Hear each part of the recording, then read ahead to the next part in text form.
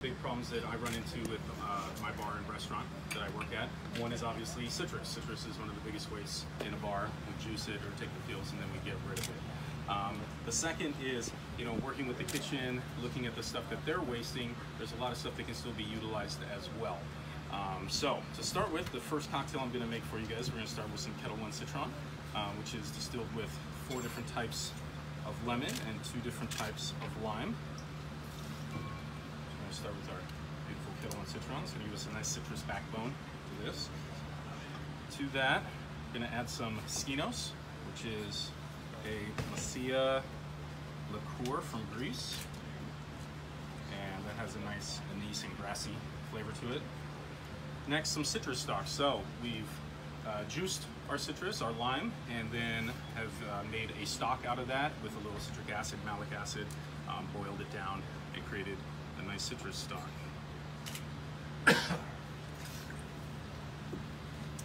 Next, I took some strawberries and the lime husks from juicing that and made a strawberry and lime cordial. I then added a little bit of Ketel One Oranje to it to kind of fortify that. So we have a little strawberry and lime cordial. And then one of the waste products I found in our kitchen um, was from beets. We have a really nice heirloom beet salad. We you know, wash and peel them and then we throw the peels out. So I took those peels and some of the lime zest and I made a beetroot and lime peel oleosaccharum out of it. Six minutes.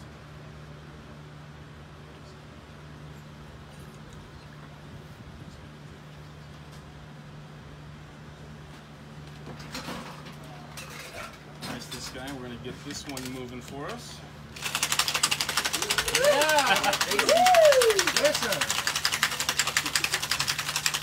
Right, white shirt and beats. Uh-huh.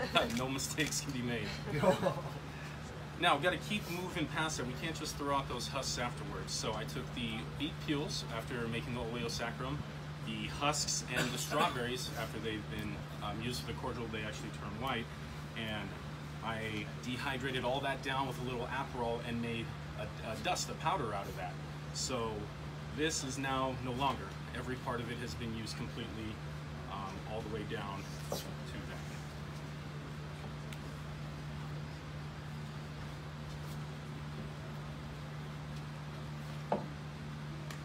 So we're going to add our beet and lime husk.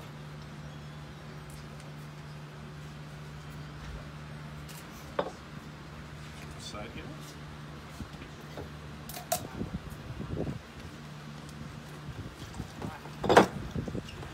Shh.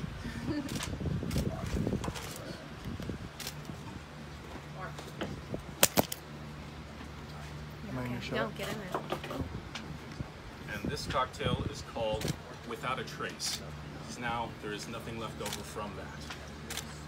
We're going to move on to our second cocktail that we're going to use uh, Ketel One Original.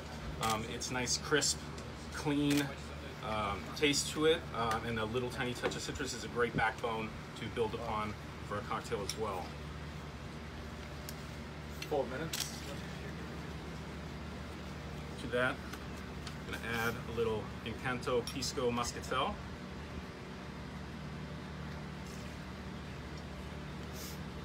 Some Chareau Aloe Liqueur, which has some nice uh, mint and melony notes to it.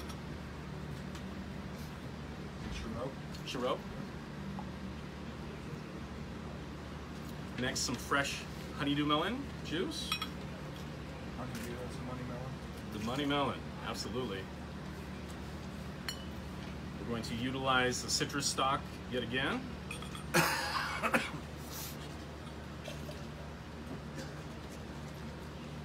then made a pandan infused coconut cream that we're going to add to this beautiful combination as well. Now, after juicing the honeydew, we were left with all this pulp that was left over. So I took the pulp and some of the lime juice from juicing the limes, a little bit of sugar, and made a honeydew leather out of it. And that's what we're going to use to garnish this cocktail.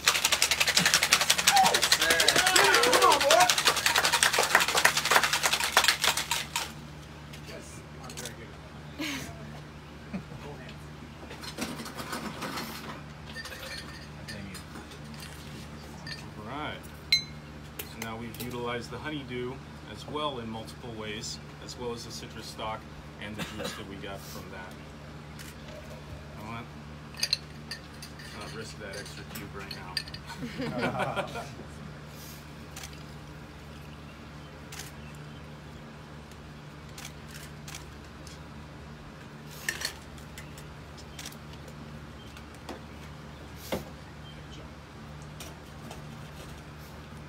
Two minutes. And of course, no disposable straws. Our honeydew leather. And this cocktail is called a perfect circle. Yet again, we've come all the way back around. We're utilizing as much of the fruit and citrus as we possibly can. Um, and that is the idea behind zero waste and closed loop. Use- Use everything you possibly can in as many ways until this completely disappears. And there we have it, guys. Thank you so much. One minute Do you- left. How much of the, how many of these ideas are you integrating into your, your bar and your day to day?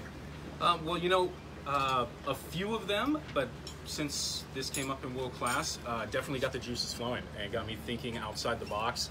Um, where I started to go into the kitchen and see, you know, not just what I'm using and throwing away behind the bar, but what they're kind of wasting and using it, uh, which is where the idea from the beet um, peels came from.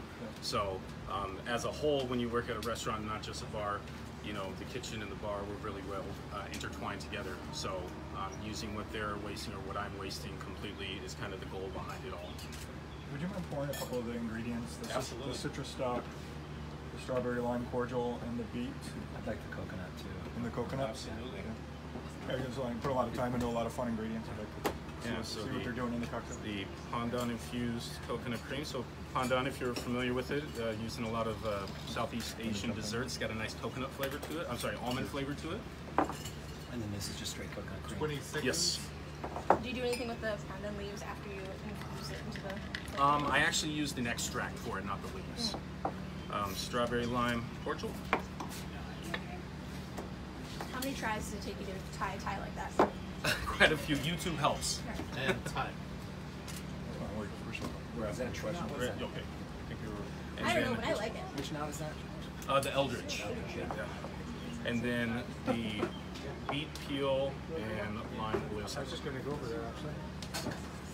I mean, YouTube helps humiliate those of us who can't. You know, it took a lot of uh, physically pause and play to uh, to get it down. But The kid who does the. who did all of this. And then if you would like to taste some of the, uh, the dehydrated garnish, which is the beet peel, the lime husks, um, a little bit of Aperol, and the, uh, and the strawberries from the infusion as well, all, uh, all combined into that. That's first.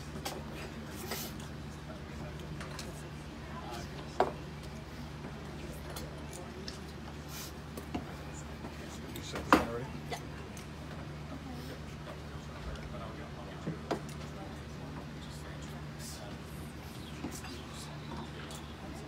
Your time is starting now.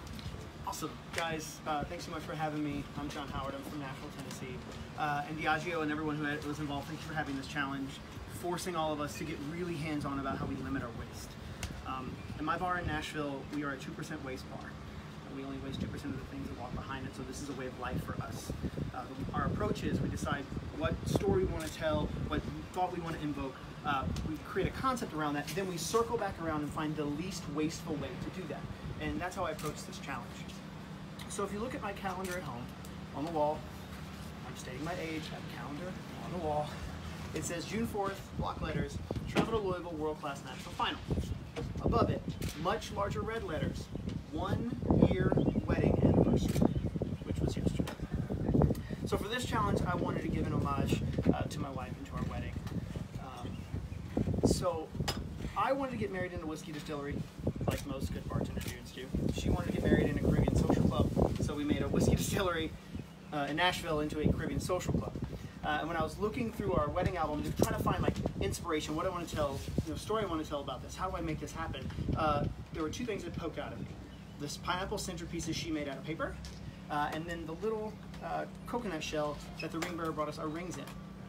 Uh, so for this challenge, to tell that story, I'm going to tackle one of the biggest, you know, wastes of things, and that's throwing away flavor. Not understanding that every piece of something in, in, in has flavor in it. Uh, and I've used every single inch of a pineapple and a coconut and a lime to create two drinks for you. I've, uh, I think it's dead here. Let me get it back open so you can look at it. But um, I have a diagram here so you can see how I used every part of every part of it. Uh, so first thing is in front of you, and I do apologize. I thought there were going to be two. So the very first thing I made uh, is a shrub. So this is going to be a shrub utilizing the pulp of the pineapple. It's utilizing the, the, the meat of the coconut uh, and the pineapple skins. The skins actually add a really cool rustic terroir, sort of dirty flavor to it, which adds a whole nother complexity. Uh, and then just a little bit of soda. So I use that for there. And then for half the half of the meat of the pineapple I didn't use to juice, I made some pineapple chips. These are things that you can make for your guests. They're free. They're easy to do. Um, it's stuff you already have anyway. You're using if you use pineapple juice, these can be done. Uh, now the first drink. When my wife was sitting in the uh, in the house planning the wedding, she always had this concoction that she was drinking. Uh, that was ginger beer, pineapple juice, and coconut LaCroix. She's on that LaCroix life. Um, and so I wanted to make something to sort of emulate that. So this is called uh, the Planner's Potion. Five minutes. Travel. So got a little bit of Ketel One. Some falernum for the citrus and spice.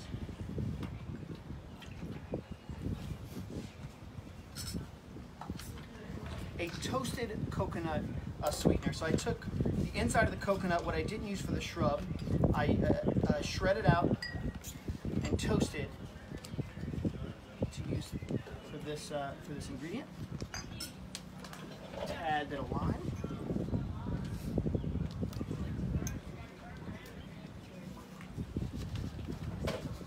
Right? Uh, and so talking about Ketel One, uh, created in 1691 uh, in Schiedam, Netherlands. Uh, Schiedam is a very interesting. She- Schiedam. Skeetum. Skeetum. My bad. Skeetum, Netherlands. Um, I'm from the south, forgive me. And um, uh, there were 800 distilleries in that town uh, by 1800, which is kind of impressive if you think about it. Um, it's made from 100% winter wheat. Goes through a, a, blending of a column distillate and a copper pot distillate, which gives you that really round, luscious mouthfeel, but also really bright, crisp citrus, which is the whole point of Ketel One. Uh, and then the big ingredient, I guess, is this uh, ginger beer, which I created utilizing uh, ginger, the juice of the coconut, the juice of the pineapple, a little bit of brown sugar, lime, and champagne yeast. Oh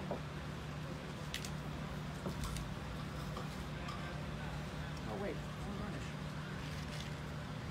Some dehydrated limes. Very sustainable bamboo skewers that we get from our friends over in London. And then the rest of the coconut was toasted, just gonna throw on the top. Three minutes. You'll also notice that these glasses say Nolet Distillery because they used to be the bottom of Ketel One bottles. Uh, they're perfectly safe, sanded. You can use you can use a lid, but I would do recommend a straw. Uh, and so that's the Planner's Potion.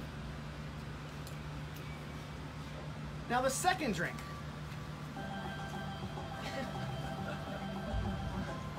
Sorry, I had to do that. First dance. This is what we danced our first dance to. Sorry, I wouldn't do that. All right. So before I did anything to the coconut, I stuck Ketel One in the coconut and let it sit for about two weeks. So this is a coconut aged Ketel One.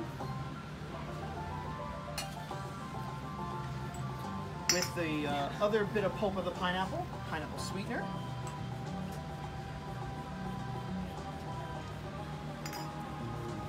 Some macadamia nut liqueur for a little bit of nuttiness. Two minutes.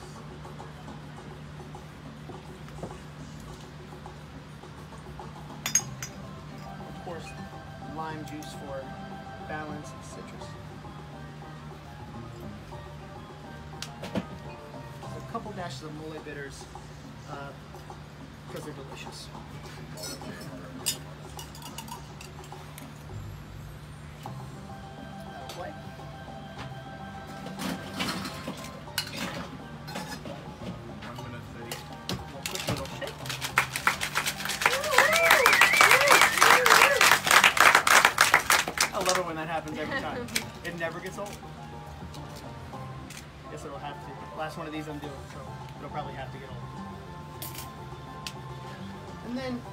To finish off, I couldn't let the coconut shell go to waste. So we're gonna use that to uh, house the drink here. Crushed ice because because crushed ice.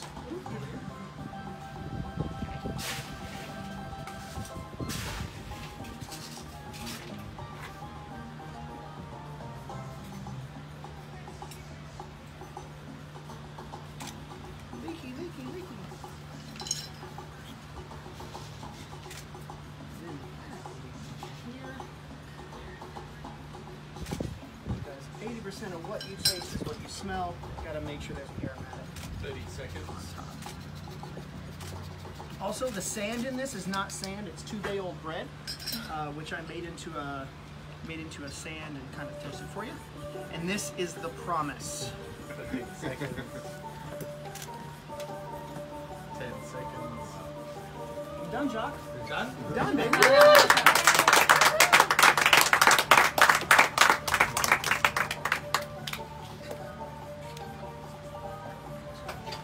Uh, so with the, the coconut aged Ketel, can we try some And?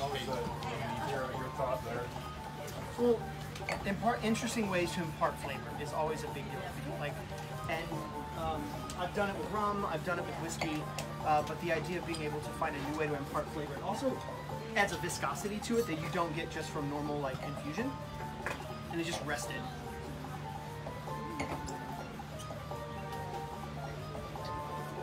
And it's it's it's like a thing where I needed to pull the water um, because I needed to get the, the, the ginger beer to start. But I had this thing and I didn't want to do anything with the thing yet, so oh, I can put it inside. It's going to add flavor. You know, continue adding flavor. Don't waste. Don't throw away flavor. It's been uh, you know a big part of kind of my whole ethos. The lime juice that you used, was it repurposed lime juice or was it just No, it's the fresh stuff here uh, because what I did, if I, I pretend like I was at my bar, uh, the limes then got uh, the lime shells uh, were all pitted out, and then we used I used the lime in uh, uh, shrub as well. So I didn't waste any lime. Yeah, that, that starts, and then I cut it open. The meat was toasted and used to the top here was also toasted and used for the sh- for the um, sweetener. Yeah, for the sweetener and the shrub. Yeah, it was in all all all, all facets.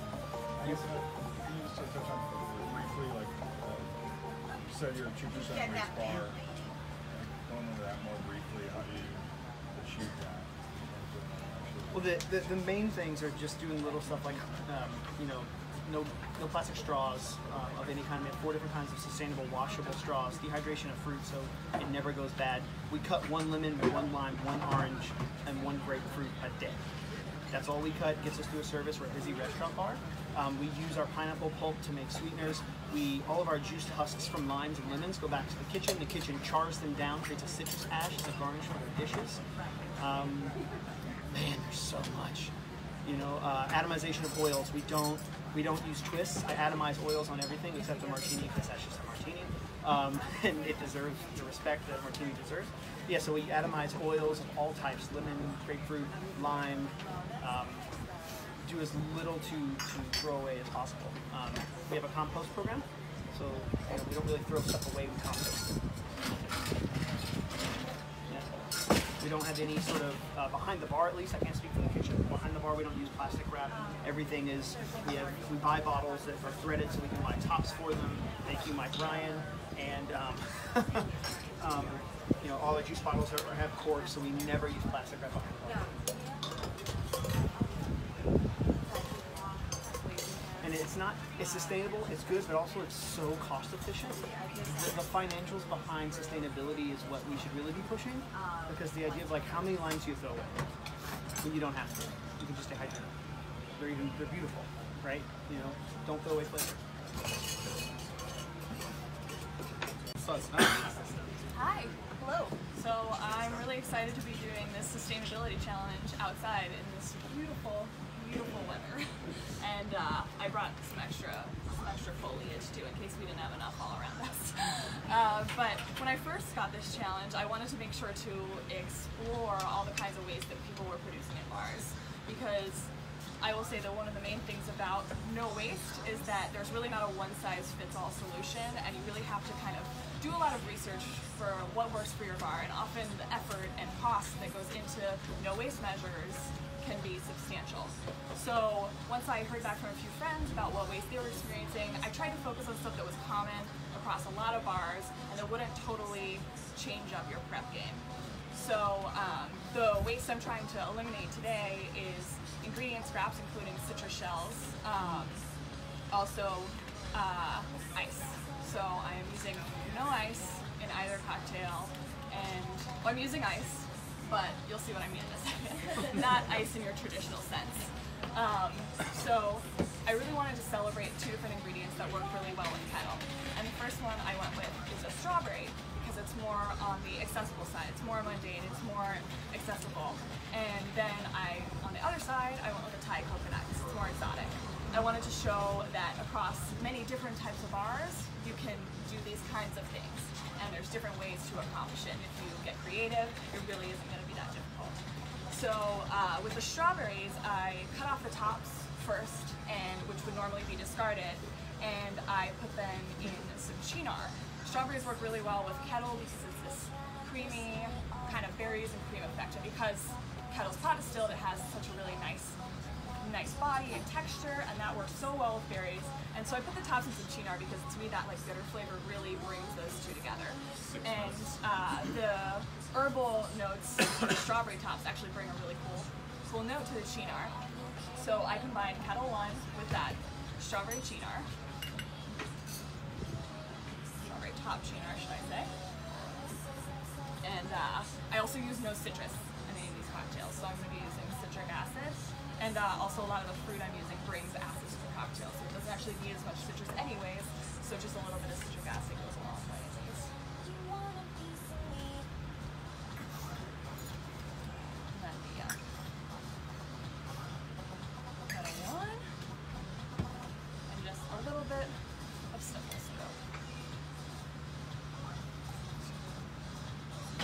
now the main part of the strawberries, ice trays and I froze them into cubes, and that's actually what we're going to be shaking the cocktail on today.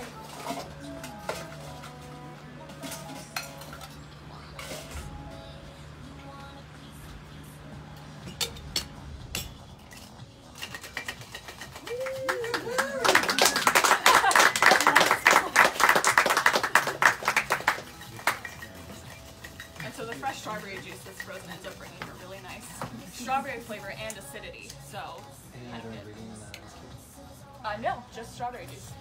Uh, and you're also probably wondering what happened to the tops of the strawberries from the infusion and the pulp from the juicer. Well, both of those ingredients I blended with a little bit of simple and I made it, I dehydrated it into a strawberry paper that we're going to be using as the garnish.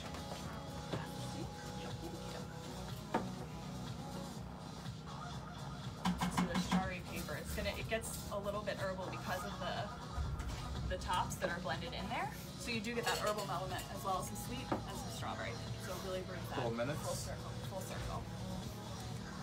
Now on to the coconuts. So this one for me was really fun because I love Thai coconuts. It's one of my favorite things after maybe a night of too much imbibing. and I wake up in the morning and crack open a coconut. It's like heaven on earth. Um, so I wanted to play with that coconut because the toasty notes you get from Ketel One work really well with coconut to me. So I scraped out all the flesh from inside the coconut and I made this uh, coconut cordial with a little bit of sugar and salt as well.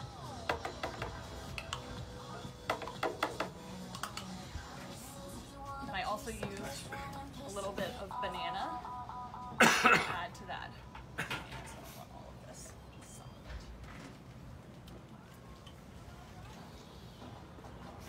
it. And on top of that, we also have some citric acid in here in place of citrus, but again, it's like a quarter ounce or less.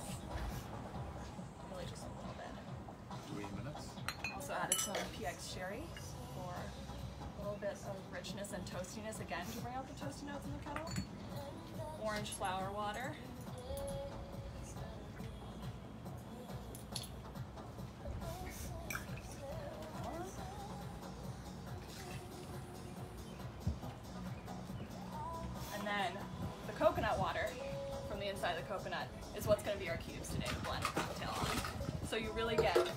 The really unctuous umami from the flesh, but you get the refreshing water as well, and that's the dilution of the cocktail.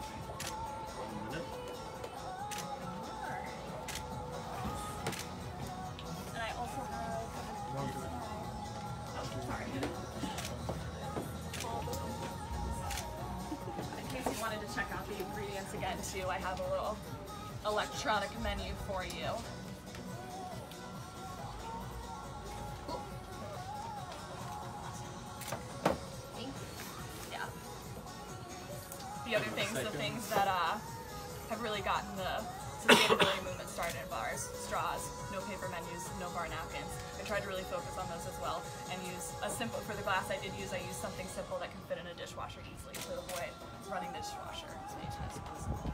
But overall, Ketel One has made sustainability a part of their legacy, especially when it comes to water. And I really wanted to celebrate that in these two cocktails. Thank you so much.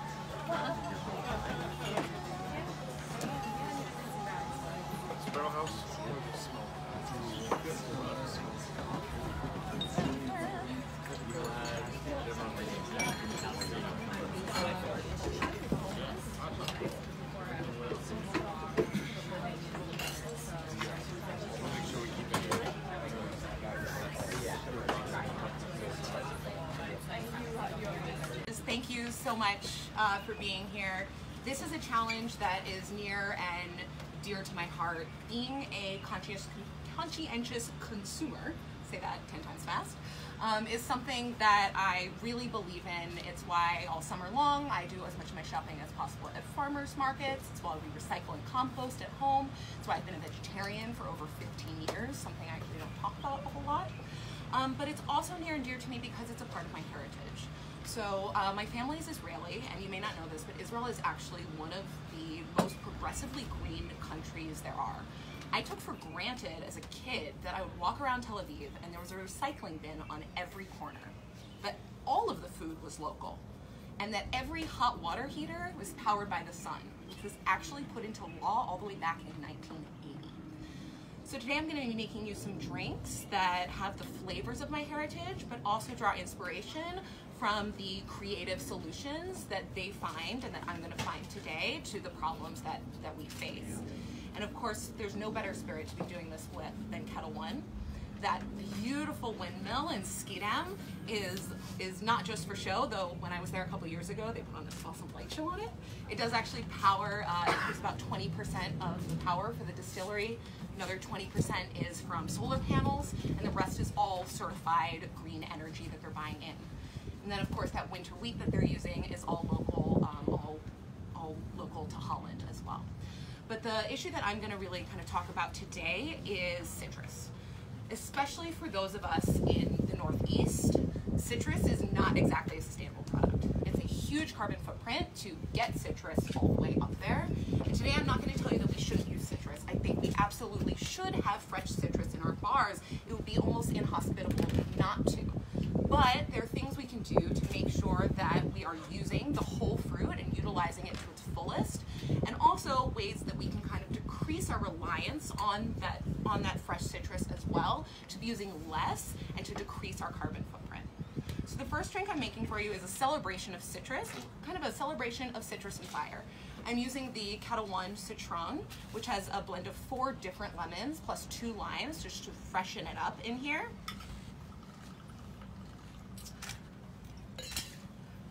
As well as a burnt sugar syrup, some nice fresh lemon juice, a touch of Amaro, and then just a little bit of tahina or tahini. Which Amaro is it? Huh? Which Amaro is it? Uh, it is Santa Maria al Monte. Five minutes. This is going to be an egg white drink as well, but we're not going to waste that yolk. I'm actually going to be using that yolk to make a ricotta aioli, which is going to go right on top of a gazpacho for you. Now, the way that we're using the whole lemon in this drink is actually with the garnish. I'm going to be topping it off with something called lemon ash. Sorry about the noise. Um, ricotta aioli with za'atar in it.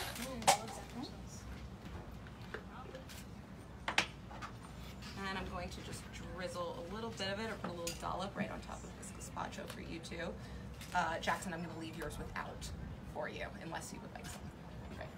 Um, but it's with the uh, it's with the garnish that we are going to create um, using the whole cocktail. Made something called lemon ash. Lemon ash uses those those hulls of the lemon after you're done juicing them in a different creative way. I essentially just burn them, turn them to charcoal, and then pulverize it, and that's going to be going right on top of our drink. With utilizing all the parts, giving the yolks to the kitchen, there's also things we can take back from the kitchen. When we're creating our own custom cocktails, this is our opportunity to step away from using fresh citrus a little bit. So I'm going to be using um, a product that is Acid Whey. Acid whey is essentially the byproduct of making a soft cheese like a ricotta or yogurt. There's actually uh, a huge problem in the industrial yogurt industry in terms of what to do with their acid whey, but it's a great alternative acid for bartenders to use. I did add just a touch of citric acid in there just to kind of brighten it that much more as well as help um, extend the shelf life of it. Um, definitely has a longer shelf life than, than fresh lemon and lime juice, but still has one. Um, so that's a great byproduct from the kitchen. We're using another byproduct from the kitchen with a um, stem syrup, a tomato stem syrup, so something usually that just gets thrown away. We're using our flagship Ketel One for a little black pepper flavor in there as well. I picked some uh, herbs for your gazpacho, and so these stems are actually going right in for this guy. And then just a touch of green harissa as well. Okay. Uh, for this first one, I am shaking it up with, with regular ice, but for the second one, we're actually using another byproduct. I strain the tomato water off the tomatoes before making your gazpacho today and turn that into ice to create a little more tomato flavor, but also so that we're not using any water in this guy. All right, let's get them shaken up for you. Two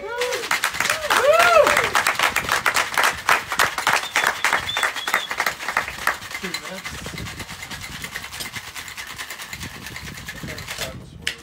sorry, cilantro and parsley stems. I pre-chilled my glasses so that the ice would, uh, would last a little longer, and, and we're gonna just be able to reuse that ice as well.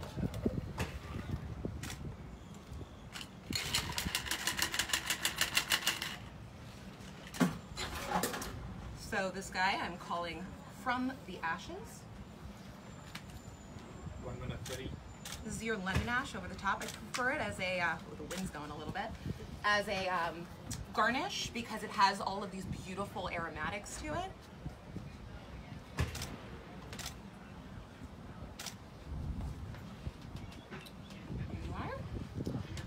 And for our from the vine, I'm giving it just a little bit of a of a half rim with sumac salt. Sumac also has a really uh, nice kind of fresh fresh flavor to it. Um, a little bit almost citrusy as well. So we're just gonna kind of play and get a little bit more high notes out of this drink that doesn't have any fresh citrus in it.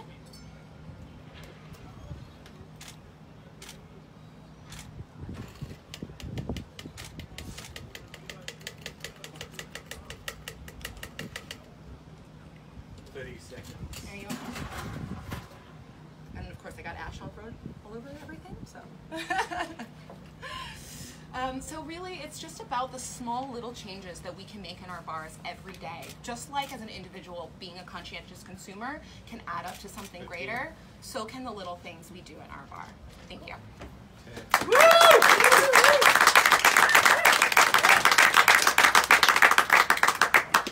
So the gazpacho is for the. Gazpacho is just for you to enjoy. Um, it's something the kitchen put out, and I'm using, you know, the byproducts, but I wanted you to be able to, you know, you're getting every part of the tomato, every part of the herbs um, in there as well. Um, plus, of course, the egg yolk being utilized with the ricotta that we used whey from. So, so they really kind of all all get go hand in hand. Okay. Huh? Thank you. May I have the bouquets? The bouquets. Swatches. One, two, three. Hey guys. Hey. Let's get started. So, um, totally blanking on how I was going to start. Um, so, last week I was sipping on a Ketel One and soda, naturally, and I was uh, checking some headlines on NewYorkTimes.com, and one in particular really stood out to me. Wrath of coastal erosion destroys Senegal fishing hub. Explained how rising sea levels as a result of climate change. There were actually awesome photos of it. It was a really great piece of photojournalism. Uh, rising sea levels as a result of climate change are not only leading to coastal erosion, but destroying a working class neighborhood. And while the beautiful town of San Luis, Senegal may seem like more than even half a world away, it's sadly a harbinger of what is soon to come much closer to home. So the American South, the region that I'm representing today, Alabama, contains more miles of coastline than any other region in the country. And as such, it's the re region most vulnerable to one of the most immediate effects of climate change, which is rising sea levels. If we don't immediately move to drastically reduce the amount of waste that we're producing, precariously positioned coastal cities such as New Orleans, Miami, and Charleston may be underwater and uninhabitable within the next century. So this is where eco-minded spirits companies can step in to do their part. The spirits industry in particular is notorious for its rampant use of electricity and for the amount of waste that it produces. For every liter of spirits produced, 13 liters of waste are also produced. However, Ketel One, as part of a larger portfolio-wide effort by Diageo, is really doing its part to make sure that we can continue to enjoy its products into the future. So Ketel One's been a leader in sustainable spirits production since the 80s when uh, Carl Nolet Sr. started to install special air filters onto the exhaust vents at the distillery to reduce and eliminate CO2 and other toxins released into the atmosphere of Schiedam. And then his sons, Bob and Carl Jr., took up his mantle when they outfitted the windmill from something that was beautiful but non-functional into an actual source of power production, installed a private tunnel in between the distillery and the distribution center, reducing the need for trucks, and then also have been focusing recently on a water reduction plan, making sure that Ketel One uses significantly less water and also contributes to giving, uh, providing water and sanitation to those in need and most likely to be first hit by the effects of climate change. So as someone who's about to open their first bar, ah, this isn't scary, that is.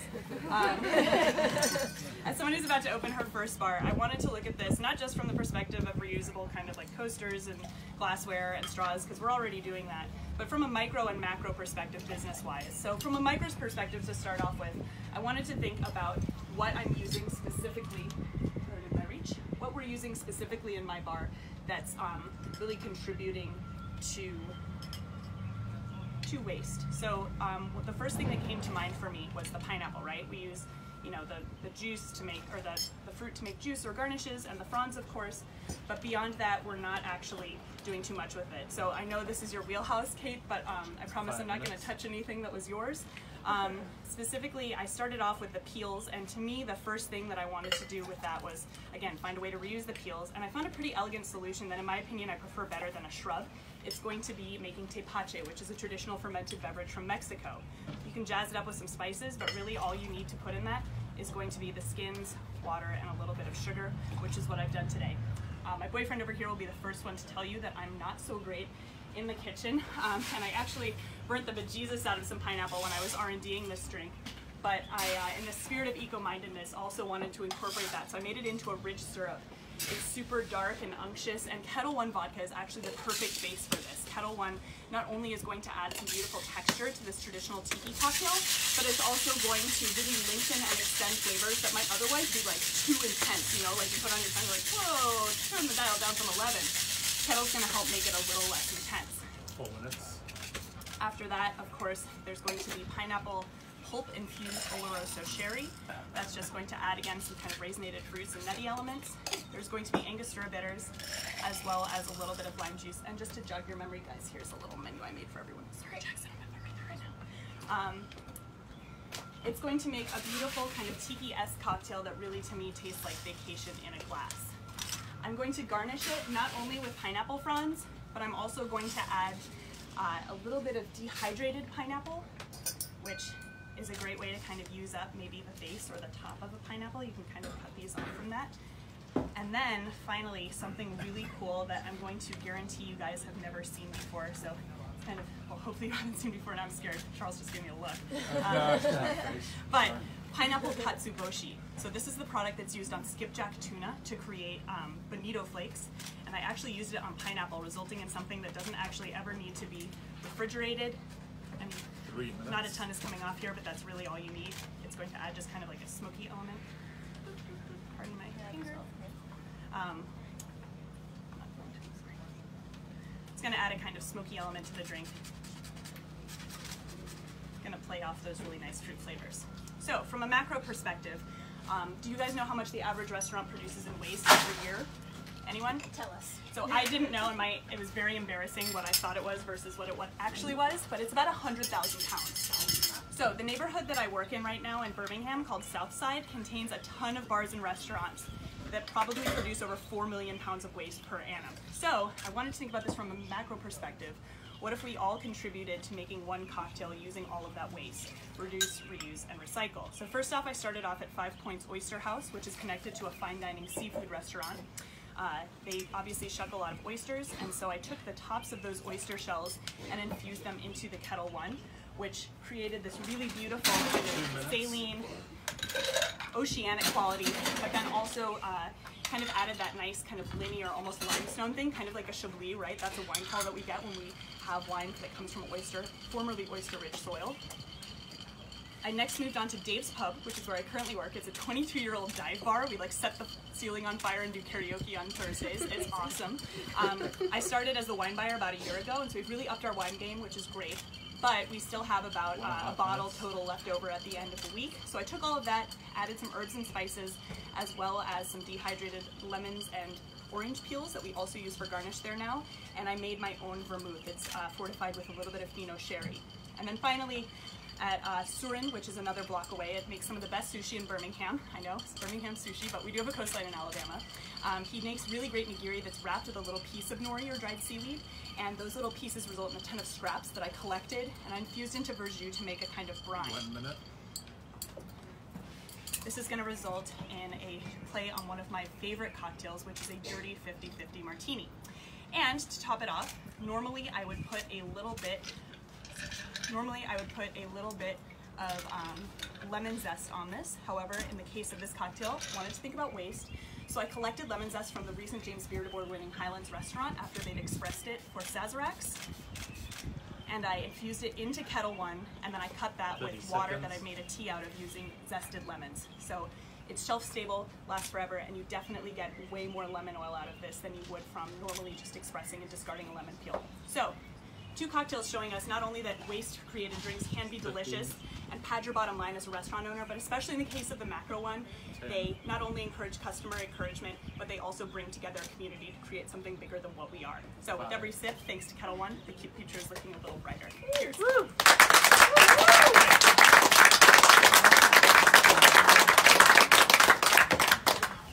Any questions, guys? Can we try the infusion? Yeah, of course. Um, Is my question. How did you, Yes, uh, fresh and fun. how did you coconut oil wash your Ketel? Um, pretty simple coconut oil that I just got a little closer to liquid. Our house has HVAC, which is incredible as a New Yorker. I'm still getting used to it. Um, so it's a little chilly at room temp, so I just got it super melty, poured it into Ketel One, let it hang out, and then I uh, put it in the freezer, took that oil off, and then I actually used the oil um, in a, for a friend's birthday recently. I made her a, a little cake using the oil, so kind of will preserve that. Can we take one more time on this infusion? The- It's the oyster shells.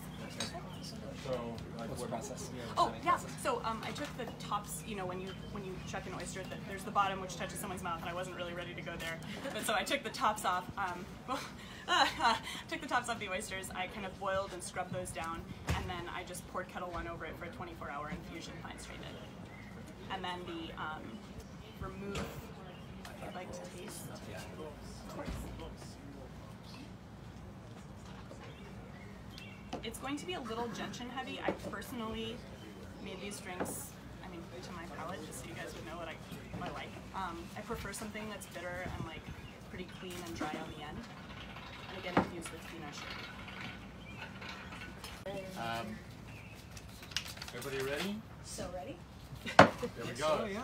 Eight minutes starts now. Great. Yes. Hello, hello. Uh, for those who I haven't met, uh, my name is Casey Miller. I come from a little bar named um, called The Last Word in Ann Arbor, Michigan. And uh, today I'm going to make you two cocktails. Uh, really, really trying to to reduce waste um, because it's, it's such a problem in this industry. I, I, I have a lot of experience in the service industry, even though I haven't been behind the bar that long. Um, I worked as a sushi chef uh, for a couple years, and I was also working in catering. And one of the things that really stuck out uh, stuck out to me was just how much waste we go through on a nightly basis. I mean, especially especially in the sushi restaurant, um, with their emphasis on fresh ingredients. Like if it's a day and it's it's got to be gone after that. So. Because uh, the last word actually shares a wall with a sushi restaurant, I've been building a, a kind of relationship with them over the last several months. And once I heard that this uh, this round was coming out, I really wanted to try to use that relationship and see if I could utilize some of their waste ingredients uh, in a cocktail that I'm going to be putting on the menu this summer. Um, and this is actually going to be this cocktail over here called the conveyor belt, um, after a conveyor belt sushi and the whole kind of concept of recycling. Uh, and so this cocktail is going to be utilizing Ketel One. Uh, it's a strong functional, functional base, um, great great mixing spirit, um, and it's really going to kind of prop up the other ingredients uh, that I'm going to put in. So start with a bit of Ketel One vodka. Next, we're going to utilize a bit of plum wine that I got from the sushi restaurant. Uh, they have a policy where after three days they toss their wine, and I said, why? Even if it's oxidized, you can still utilize it in a cocktail, and actually sometimes it can get even better. This is a syrup that I made from strawberries that we are we, are, we were already making a syrup out of at the bar, and so after we would just dump this. So I took this, took those strawberries and some uh, some shiso leaves from next door that they use for garnish, but they don't use very use them very much, and so they toss quite a bit on a night, on a weekly basis. So a strawberry shiso syrup, Six minutes. Thank you. And a bit of uh, what I call rind juice. Uh, this one is made to mimic lime uh, lime juice, and it is uh, the halves of limes that we generally toss when we're prepping garnish at the beginning of every night behind the bar. I've been chucking them into a, a little cooler. Um, and a, a blend of uh, citric and malic acid, with an emphasis on malic, because citric has more uh, lemon notes, and malic has more uh, lime notes. And this is just a bit of salted plum.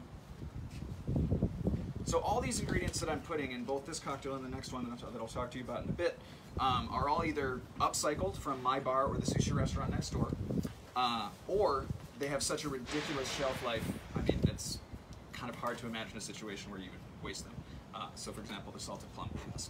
I mean, this is to last longer than me, probably. Second cocktail is called the nashi kasu. It's a Japanese, the Japanese word for nashi, or excuse me, the Japanese word for uh, uh, pear is nashi, and it's also the Japanese word for uh, none. And kasu is a slang term for waste. So uh, you're absolutely right. This entire challenge is so I can make a Japanese pun. Uh, and we're util- utilizing Ketel One Citron uh, for this one. Um, great blend of uh, different citruses uh, from three different continents. Blend of uh, you know limes, limes from the Caribbean, lemons from uh, Sicily and Africa, and then uh, that's our base. We're going to use a little bit of Asian pear infused sake, once again from the sushi restaurant next door. Uh, this is another rind juice that I made, but with a little bit more of an emphasis on um, uh, the citric acid, and also when we trim up our uh, lemon garnishes for uh, for uh, for prep every night. Um, once again, just kind of tossing those into a little uh, container of water, letting them soak, um, and at the end of the shift, mixing it with some citric acid, a little tartaric, a little malic. This right here is some local honey from one of my best friend's mothers, who uh, has her own bees. And I put a little bit of uh, orange and lemon rind in there, once again from the bar, to kind of make my own little um, marzipan. And a little bit of aquafaba, if you're familiar with this concept. Uh, it's basically the, uh, the, the water that garbanzo beans or chickpeas soak in, and we actually serve those at the bar, fried chickpeas. And we don't really have a use for the, uh, the water, and so I was like, well, why don't, why don't we find a use for it? Um, there's proteins in there, it's going to give it a nice kind of fluffy uh, aspect to the cocktail, light and fluffy. Charles, I think you judged the uh, Giancarlo last year for nationals. We still have the drink that he made for you on our menu, and he makes uh, we make a syrup, the piloncillo syrup for the Estrella Negra, uh, the Mexico round. And so those spices we normally toss out, um, so they're kind of coated in, in sugar. And so I'm just going to caramelize that sugar and roast the spices at the same time, and add that to the cocktail. Once again, those spices, ridiculous shelf life.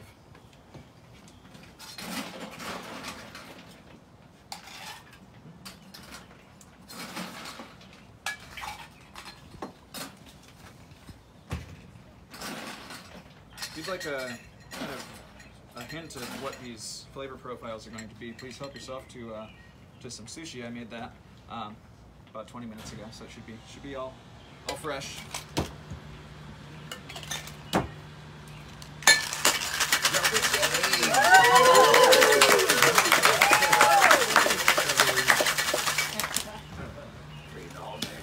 Two minutes.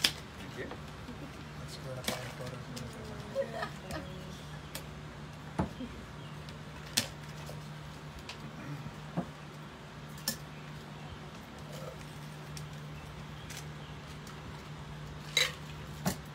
Jump bucket. This one. Orange. Thank you. It's color coded this time. Leo's here.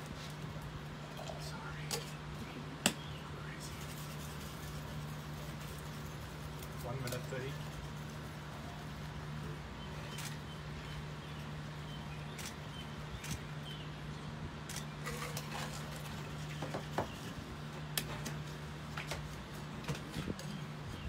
Do you even use avocado in uh, your bar at all?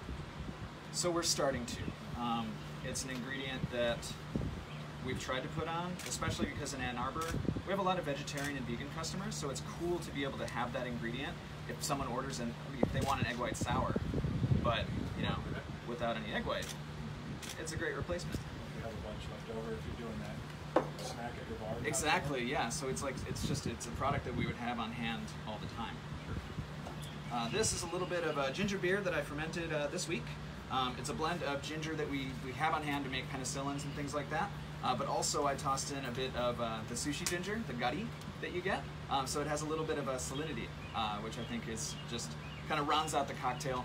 A blend of kind of sweet, savory, and sour notes. Thirty seconds.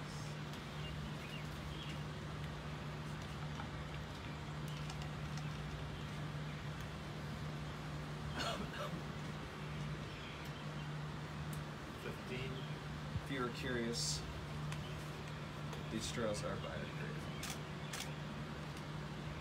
Ten. Five.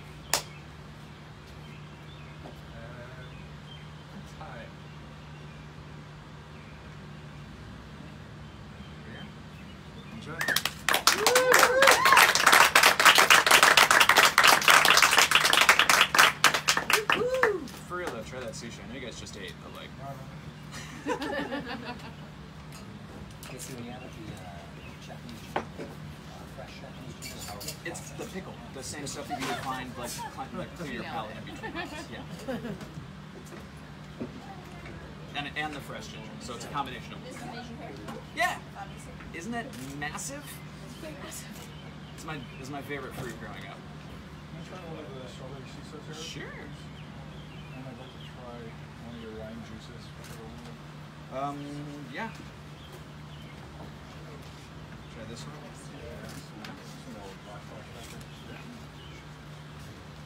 What's that? Hi folks, how are you today? Fantastic. Wonderful. I believe at this point I've had the pleasure of meeting all of you. My name is Karina Martinez and I have the pleasure of representing Sacramento, California today. What, what? West Coast? Yeah, West Coast, West Coast, Amen. all the way up. Um, so today we're going to talk about water and water conservation. Being from California, it is definitely a big deal. We've had several droughts, warmer climates, lower snowpack, and we are a huge agricultural hub. We are actually responsible for one eighth of the production of ag- agricultural production in the whole U.S. So ag and water go hand in hand, not only in the environment, but also in our cocktails and in our bars. So just rattling off some facts for you guys. Um, so in the decade between 2010 and 2012, we actually lost 1.3 million acres of agricultural land due to development. As concrete continues to come in and take over a lot of green spaces, then we're also losing runoff, we're losing groundwater, we're losing water that is going to our farmers. And that's a really big deal for us. So also being this in the state capital, we get hit with things a lot first. So all the rules, all the regulations, they come down on us. Um, and the re-examination of water rights in larger cities as they grow in that same decade, our population increased by 22%. So it's definitely a huge growing market. Um, and we're not necessarily doing a lot about it on the governmental front. So the question is, is as we're losing this water, as our population is coming, how can us in the bar world combat that? So talking about water usage, there's a wonderful bar in San Francisco in Fort Mason, which is actually national land, so they have a few different rules. But there's a bar called Interval, and they are almost a zero waste bar, including the type of ice they use. So they do either pre-diluted cocktails, they do glasses with frozen water in them, and they also um, are actually not using any Kold-Draft ice because Kold-Draft ice machines are actually completely inefficient. Not completely, very inefficient. Um, where they actually dispel about 40% of the water that they take in. And so it's not as efficient as say a Scotsman, uh, which crushed ice. So I'm going to be using crushed ice mainly today, or all today, um, because it is more efficient and cooling. So the first cocktail I have for you is Ketel Citron. It's going to be the beautiful Ketel base uh, from Ketel Family. Um, it's going to use lemons that are brought to us from Sicily, Spain, West Africa, and two different types of lime varieties from the Caribbean. Those oils are actually expressed from the citrus in its current in its home, and then shipped to Grasse, France, which is the birthplace of perfume, um, where it is then blended with uh, the distillate, or added to the distillate. We're also going to have some celery juice in here, some strawberry syrup, some Aperol, and black pepper. So the reason I'm doing it this way is I do have several different weights of liquids in here, so I wanted to dry shake it first to kind of emulsify all those liquids. And then I'm setting it in here to get the dilution to temp. And then from there we're gonna strain it out. So that way I'm not using any, any Kold-Draft It's also allowing bartenders to stay in the industry a little bit more when you don't have the Kold-Draft ice beating up our bodies. And the more veteran bartenders hopefully will stay in this industry and be able to pass knowledge along to the older ones, not only on bartending, service, professionalism, but also on why we're here today. What was that? Four minutes. Four minutes, thank you. And pass on kind of this lineage and this information. The second cocktail I have for you is also going to be using Scotsman, um, and we are going to do it with. So also talking about fruits, vegetables, agriculture, I wanted both of these cocktails to be very heavy on kind of homemade products, syrups, and um, water that's already going to agriculture and how we use them. So in the first cocktail, you have strawberry and you have celery. Those are the strawberry syrup I made from home and brought, and those are actually coming from farms that are practicing sustainability. And it's also using products that you can then juice, you can then blend, and taking those pulps and putting them to compost. Sacramento has this amazing company that's called Resoil Sacramento. They come around to bars and restaurants. It's a nonprofit, and they actually pick up all of our compost and take them um, to different farms, especially other nonprofits that are either teaching people how to farm or to school education programs. So they are doing an incredible amount um, just by showing up every day and picking up the things that other otherwise we would waste. Other things that we are doing are we are putting together, you know, glass rinsers and bars now, which are a lot more efficient than just letting the tap run to wash tins. So again, this first cocktail, Ketel Citroen.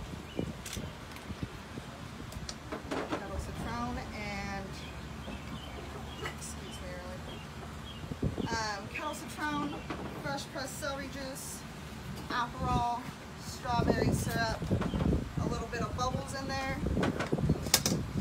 and black pepper. The second cocktail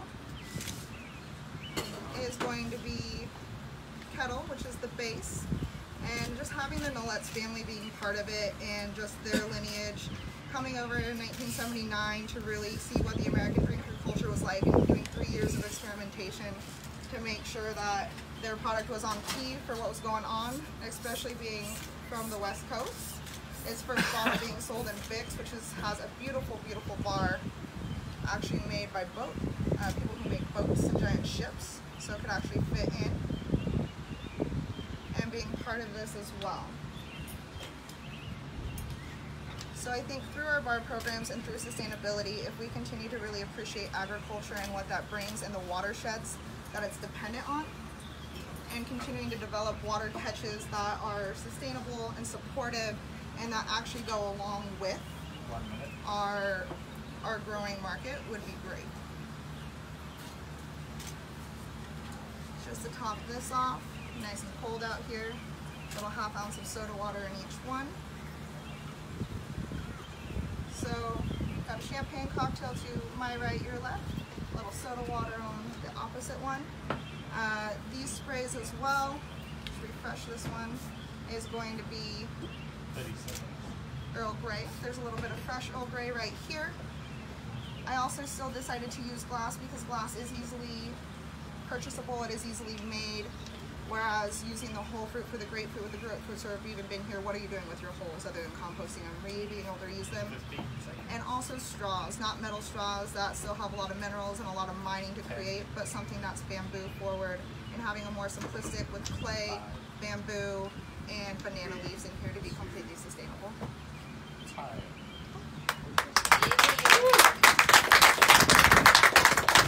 Can you run down real quick the ingredient list on this cocktail and what, what's the name of it? So this is going to be the Dutch invasion,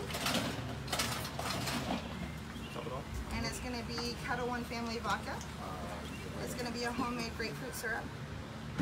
It's going to be lime juice, Montenegro, black pepper tincture, and grapefruit bitters.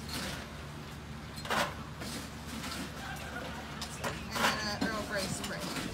What did you spritz that one? That one was a lavender tincture. What's the name of this one? This one is the Pop and Scout.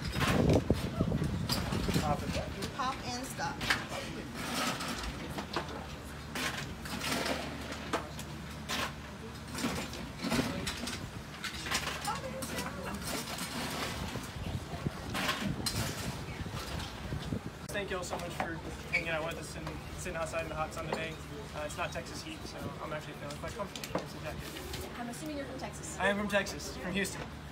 Um, so in this challenge, uh, when I started thinking about what it is that what made this whole challenge what it is, um, I took a very micro look at what, what, like, what was going on in my bar. Um, so my bar, we sell two times as many old fashions as any other cocktail in our bar. So we're constantly peeling oranges because that's the way we do ours. So we have tons of leftover oranges that don't get used for anything, and we quite honestly throw them away. Now, as far as like a, a carbon footprint, they do take up some space, but they are decomposable. So like I didn't see like this is not curing the world, but I mean this is more of a way of like for us to reutilize these things that we would normally just throw away and try to help like our bottom line. I want to be a bar owner sometime soon, and so that's kind of one of the things I'm looking for. So in doing all this, I took a whole bunch of things, and like I used the lemons and oranges that we have left, left over from juicing and, and peels, and made a bunch of different things that go in. So um, I'm gonna start off with um, my stirred and boozy cocktail, which is actually called the fifth generation. So what I've done here is I've made a vermouth substitute more or less. So I've taken the orange peels that from juicing, I've dehydrated them, along with lemon peels as well, dehydrated those, and I infused those into um, a white port. Um, I wanted something a little sweeter because I knew these were going to throw off some really bitter, like. Um, and then on the side, I made a couple of tinctures. So an angelica root tincture, which is the most common ingredient used in vermouths, as well as a little bit of coriander, which has fruitiness and lightness, and a little bit of anise seed for the, that obvious anise flavor. Um, then I blended them all separately to create what, what I have here. Um, so we're going to go ahead and just add a little bit to the base. And this cocktail is based off of the 50-50 martini. It's actually more like a 49-51 martini, honestly. Um, this bit sweet because it does have the in it. So I needed a little bit more, a little bit more uh, of the, uh, the Ketel One to go. Now this cocktail is called the fifth generation because uh, this during the fifth generation of the Ketel One distillery, uh, they they built the whale, which is their their mill to mill the grains that they were receiving. So it was a way for them being more efficient and, and uh, using the things that they had, and then also being like resourceful, kind of like we're trying to do here. So um, in that respect as well, uh, being resourceful, I was thinking of ways that like instead of just using plastic glassware, we decided to use some of the Ketel One bottles that I've done some experiments with. As you can see, uh, the upside down version of this cocktail is actually the top of the Ketel One bottle. I had a local glass blower cut them for me and uh, fire kiln them so they're nice and nice and easy on there. Um, yeah. Thank you. It was a very last minute um, favor, and uh, so they were they were done to the best of their ability.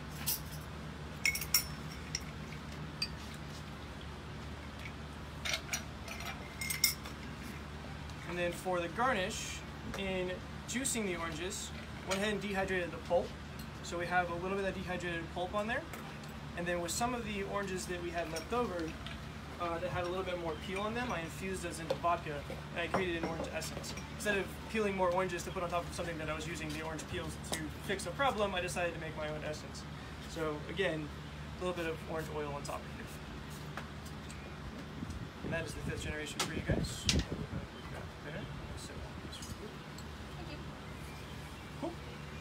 And uh, now the next cocktail is going to be um, the Comeback King.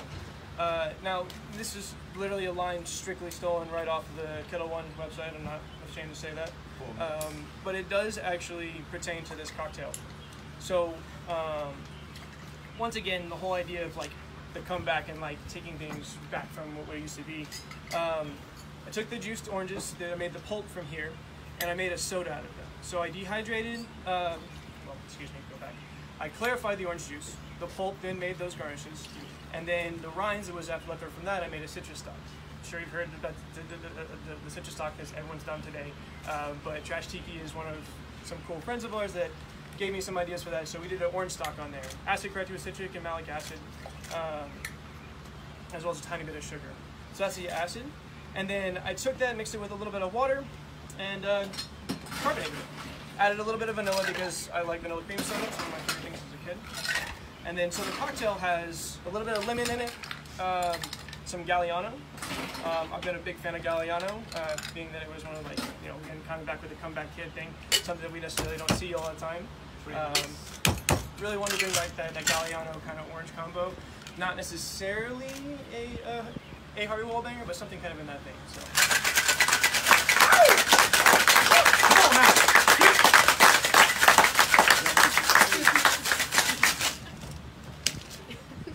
And one of the other big problems that when I was talking with Ian, um, one of the guys from uh, Trash Tiki, he said for me to think about the water usage that I'm doing. So, being that we love all these beautiful, like large, large cubes, they do waste a lot of water when they're doing them. So I'm gonna. Oops, before I do that. My soda, important part.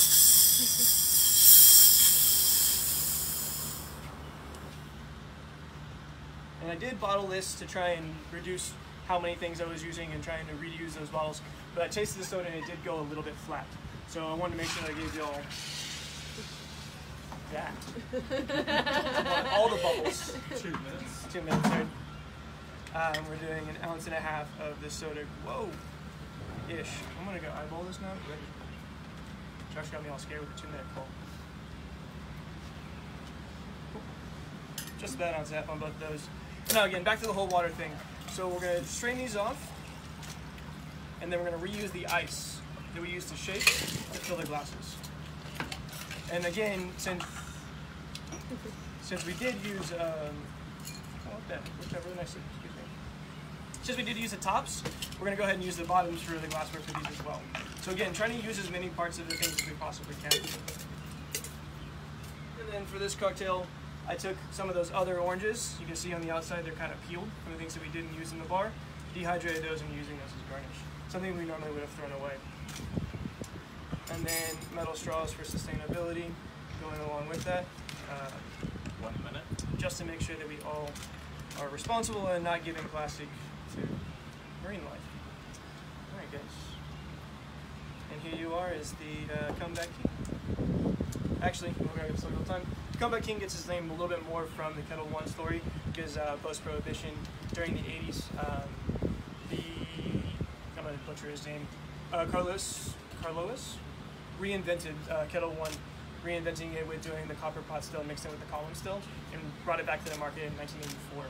Um, and, and that was when the, the term the comeback king started because they wanted to make sure that they brought it back slow and brought Ketel One back into the market. So that's a little bit further in the name of that. Guys, thank y'all so much, and please hope y'all enjoy.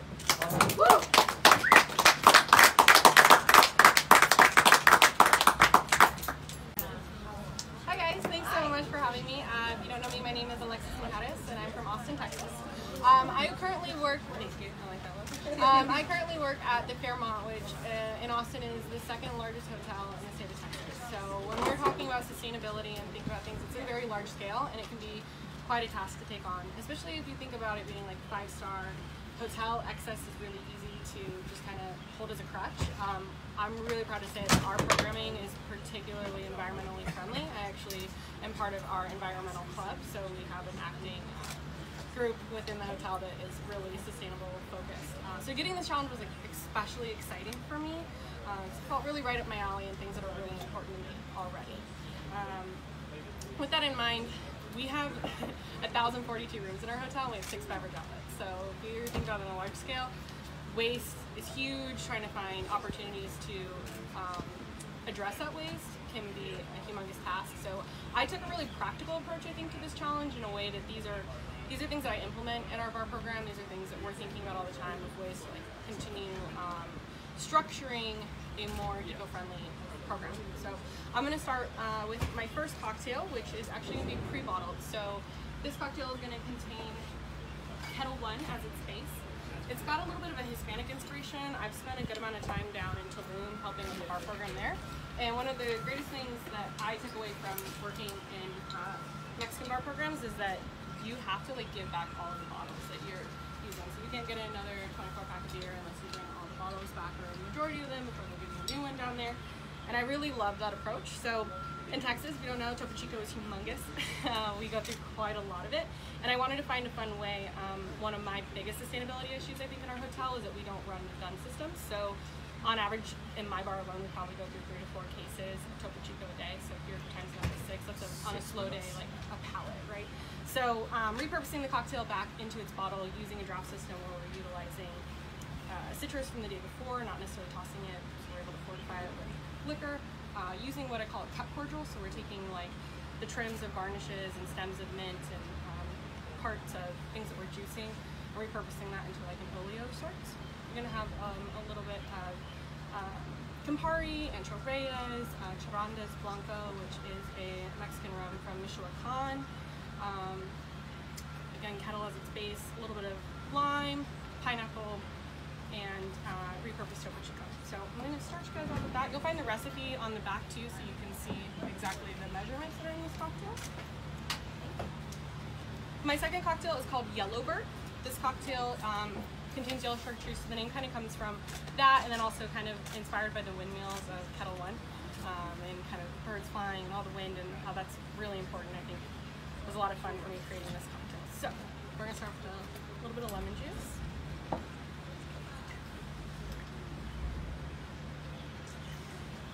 Uh, another item that you're going to find that gives a beautiful color that first cocktail is I'm making like a Jamaica. So we do a passion fruit kind of tea in house, so a hibiscus.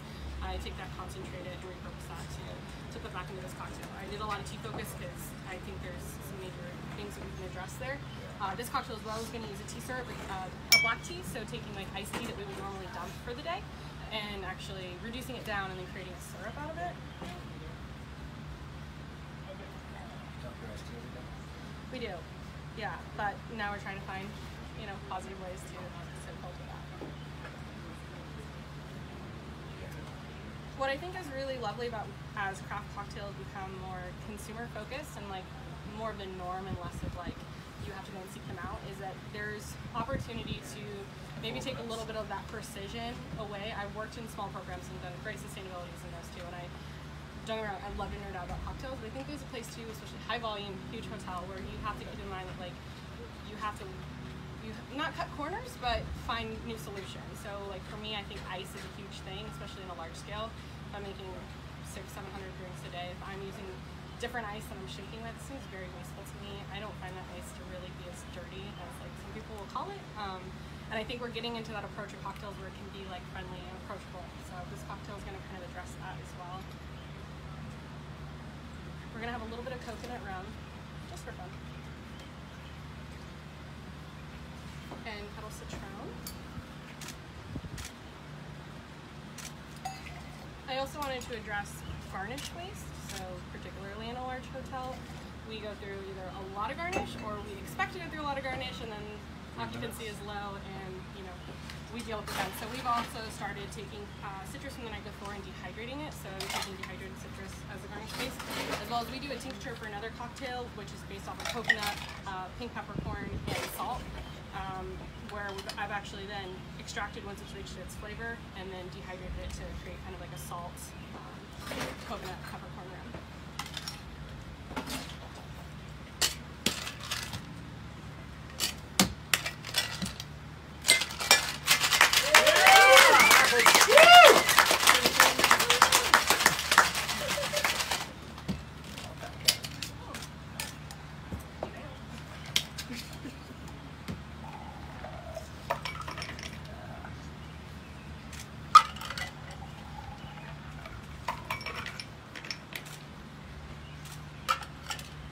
And then we're just gonna finish it off fish shots on top.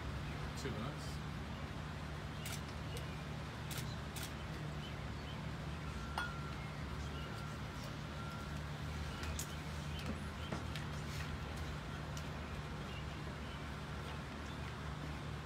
Grab these little guys. Little kettle in Texas garnish where you drop it and make a drink fizz just a touch more.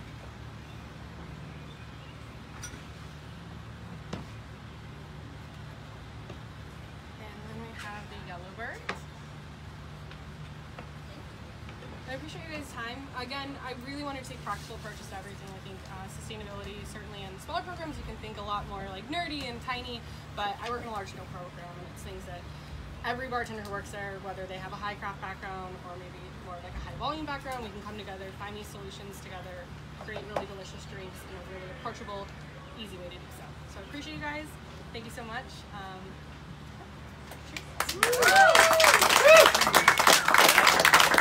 Just, uh, Sorry, one second. Sorry, I just want to show you. oh, something. two, uh, sorry. Hold There we go. Everybody ready? so, ready. Ready. ready. Last competitor. Jorge Vargas. So Here we go. ready. Eight minutes starts now. Okay, welcome judges uh, to the Ketel One uh, Sustainability Zero Waste Lab. Uh, my name is Jorge Barros Paquirano from San Jose, California. We're going to talk about green, to be green and zero waste. Um, the Knowledge family, uh, uh, uh, did a lot of stuff going on for, for sustainability and in, in the whole process, and uh, they uh, use beautiful products. Uh, to, to keep us uh, in zero waste. And in 2005, they built a uh, 141 foot tall right here windmill that actually produce green energy to the to the distillery uh, and also support the community within Schiedam Holland. So in two cocktails and in eight minutes probably, I'm gonna try to uh, show you some uh, aspect that we can bartenders could contribute to this zero waste uh, movement in, in, our, in our community. Um, bartenders are very wasteful. We have to be honest, and uh, and then try to cover some some aspect. So it's gonna be uh, citrus on fruit husk, uh, wine, and also our of footprints. Um, when we talk about like uh, the citrus husk and footprints, it's gonna be more about uh, how we can just basically repurpose the product all the time, no? So I'm starting in my bar do a, a closed loop cocktails to use all the, the whole product in one. Uh, I done uh, um, uh, lemons, you know, with uh, lemon peel, sodium saccharon with the peelers, and then dehydrate it and then caramelize it. So a lot of stuff going on. But now I wanna I wanna use the pineapple that is actually a signature of hospitality right here. And, and then this guy is help to do the whole thing. So when you just basically press the, the, the pineapple, use it, you have the juice, but then uh, you have the leftovers, right? Uh, that little paste, the pulp, but it is actually uh, dehydrated I make a little bit of pineapple chips are gonna be presented for you guys. But what about the skin? And the skin is gonna be, uh, uh, I made a tepache. Tepache, if you guys don't know, is actually a fermented drink from Mexico and Latin America. They can use the, the whole skin, the pineapple skin. And if you believe piloncillo, there's a Mexican uh, sugarcane uh, molasses, uh, a little bit like, cloves, cinnamon, and black pepper on it. And, uh, and then, uh, you can even reuse it again, and then you have like seven days or eight days to patch it. Uh, also, the, most of the people waste a lot. I think I have a big uh, wine selection is wine, right? After four days, and then uh, uh, you gotta throw it away because it reached the prime. But uh, we can bartenders can use it and send it to the kitchen, and actually the the, the, the, the chef can do a vinegar. But I made my own uh, fortified wine. Let's put it that way. Aromatized wine. You know, called vermouth because that's how wormwood on it. So I put a, a, a lot of uh, uh, some uh, roots, herb, uh, tea, fruits, and I fortified with Ketel One Oranje. That's gonna be my first cocktail right here. So all those aspects is gonna be in both cocktails. Uh, now, sustainability is also is not sustainability for the community. It's gonna be for ourselves and also our community. For ourselves, try to keep it. Uh, and this moving on low proof cocktail, right? So we're gonna take care of ourselves. So the next cocktail is actually gonna use Ketel One Oranje and with a low proof spritzer in this style, right? And the same aspect that using the wine, I do a rosé wine, a fortified rosé wine, using hibiscus flower, uh, prunes, uh, leftover rosé wine, put it that way, and Ketel One Oranje too. Uh, and also to support our community sustainability is to uh, slow uh, uh, our carbon footprints. You don't have to order products from another across the country. Just go to the to local farmers. You know, 20 minutes uh, away from my house, there's a beautiful uh, farmers from strawberries in Watsonville, and it's 20 minutes from San Jose. So I go over there and buy this beautiful strawberries and make a strawberry uh, syrup. And, uh, and, and actually, I can just help the community do uh, uh, more for them, and then use all the products. A little bit of arugula liqueur too, flavor. And you guys know that we actually in, in, in, in, in the country throw away a lot of like 20% of our products because we don't actually select the ugly fruits, right? When you go to the market, uh, whatever brand, uh, brand market, uh, you can find these beautiful pro- uh, uh, fruits, right? Very unique. But when you go to local farmers, you can just buy those ugly of uh, fruits that they're not gonna pass the standards of the regular grocery store. So what, what do they do? They throw it away. You can just basically contribute to, to you, uh, farmers, right? And they, they can get more money. Uh, you don't waste a lot of energy in that.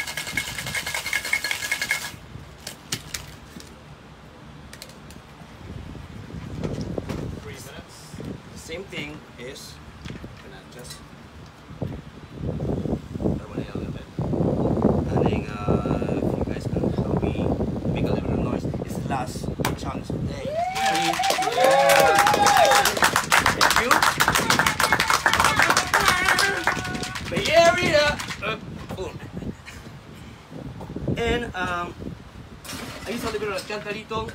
Just keep it chill. It's gonna be very refreshing for your drink.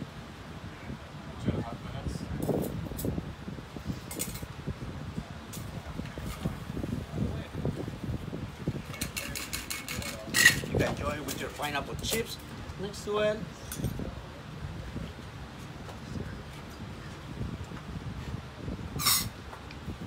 And then uh, it's gonna be in the second cocktail, uh, a nice beautiful spritzer using uh, the uh, fortified uh, wines, a little bit of pepper, this guy, for aroma.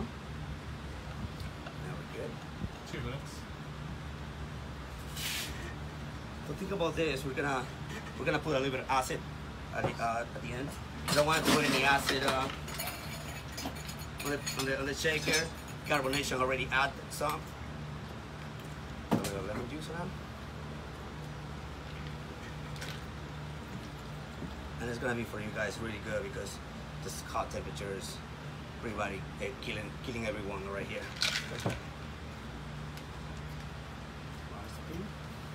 the thing about sustainability is like for me uh, sustain yourself a low fruit cocktail sustain your community uh, with uh, uh, uh, support your uh, local farmers uh, the repurposing of products close with cocktail with the pineapples um, right in different ways and uh, also One minute.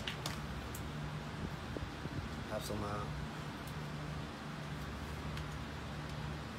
beautiful strawberry chips for you guys here. Just that it's everything was left over from the making the syrups and making the juices. So there's no zero waste. You don't throw away all this uh, all the stuff. So the cocktails are like the local spritz because it's a local from Watsonville, San Jose area, and this is gonna be my everything and then some. So you have everything on the cocktail, but then you can add something else like the tepache, right? Leftover pineapple skins on it into it. So it's a lot of stuff that you can do for sustainability.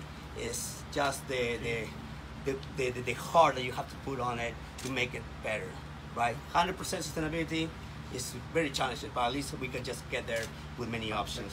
And thank you so much for you for for attending right here, and my pleasure.